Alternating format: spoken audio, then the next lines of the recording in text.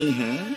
राम मंदिर के निर्माण की जो प्रतिष्ठा हुई है उसको संबोधन कर और वो सर्वोच्च न्यायालय के द्वारा तथ्यों के आधार पर दिए गए निर्णय के कारण से हुआ है। सर्वोच्च न्यायालय का निर्णय है तो तथ्यों के आधार पर निर्णय है। Yes, yes. वो विषय आपने बोल दिया ठीक है ओके। परंतु जो मंदिर का निर्माण है वो नियमानुसार सर्वोच्च न्यायालय के निर्णय से तथ्यों को देख करके। और एक सेकेंड एक सेकंड। आप इस्लाम के बहुत जानकार हैं, विद्वान हैं वैसे भी अब कानून के। यदि किसी अन्य धर्म के स्थान पर मस्जिद बनाई जाए तो शायद उसको मान्य नहीं किया जाता।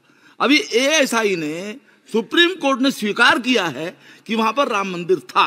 तो इस विषय केवल यह है कि वहाँ पर राम मंदिर ठीक बना कि नहीं बना, वो विषय हो गया। तो कृपया इस पर यदि आप कुछ बोले तो बोले प्लीज़ सर मैं मैं आपको गलत साबित कर दूँगा, सर। और और मैंने रुक रुक तो रुक तो जाइए, रुक तो जाइए। बड़ी इज़्ज़त के साथ, सर, मैं आपकी बड़ी इज़्ज़त करता हूँ।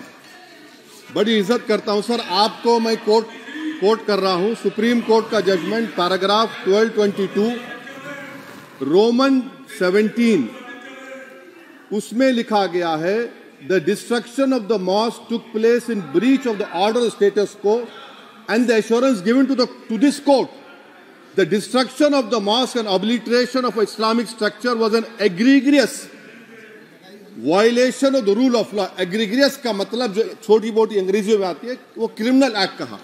और सर, आपने कहा था कि वहाँ पर मंदिर को तोड़कर बनाया गया। सर, मैं आपके सामने ये तमाम चीज़ें लेकर दूँगा सुप्रीम कोर्ट के जजमेंट के पैराग्राफ्स हैं, जिसमें सुप्रीम कोर्ट ने एएसआई की रिपोर्ट को नकारा।